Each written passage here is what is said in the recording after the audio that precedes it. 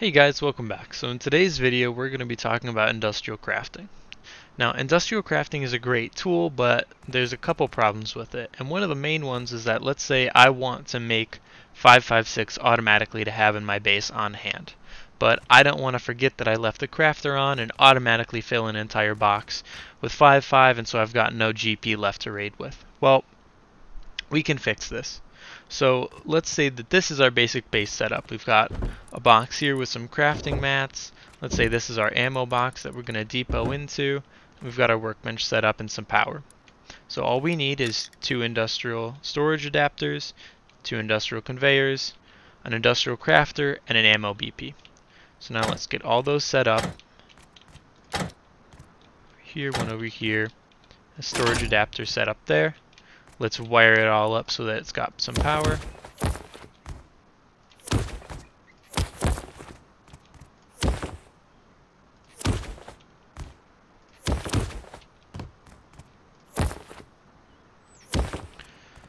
And so then let's connect. So we take the output of our mats box and connect it to the input of the input conveyor.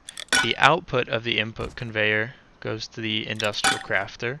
Then the output from the industrial crafter goes to the input of this output conveyor, and the output of the output conveyor goes to the input of our ammo box like that. So you can see it's just in one continuous chain. Then we're going to put our BP here in that industrial crafter, and we're going to have this crafter ship metal fragments and gunpowder.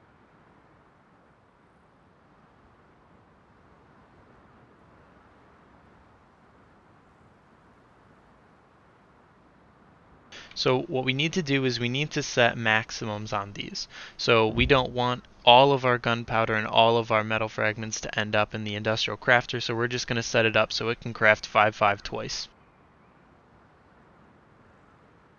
by using those values.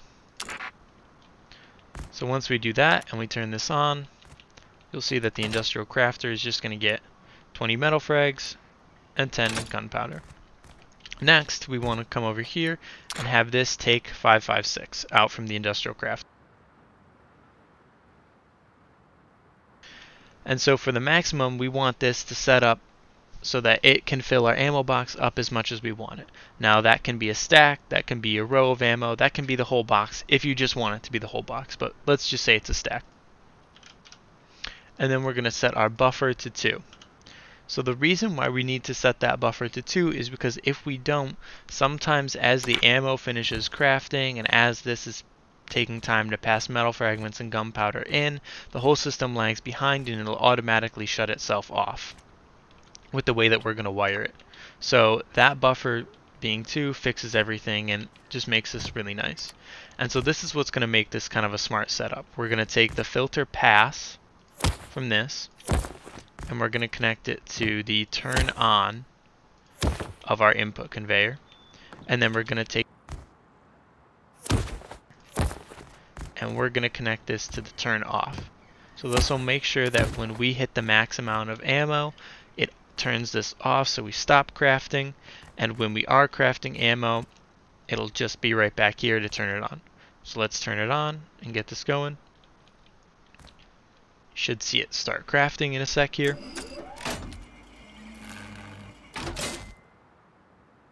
Then you'll see as it passes ammo, this light's going to come on here. And you're going to see that pass metal fragments and gunpowder back into the crafter. That's going to keep going. So this is the crafting setup, but let's say you kill some naked roaming AK and he's got four stacks of ammo on him that you depot into your box. So let's do that because you want to, you know, just have enough ammo and don't want to have to worry about, you know, continuing to craft more. Well, so then this will finish its last two crafts, and then it'll automatically turn off, because this isn't going to put in any more ammo. But let's say then you go out and you get steamrolled by a 16-man clan over and over again roaming SAR.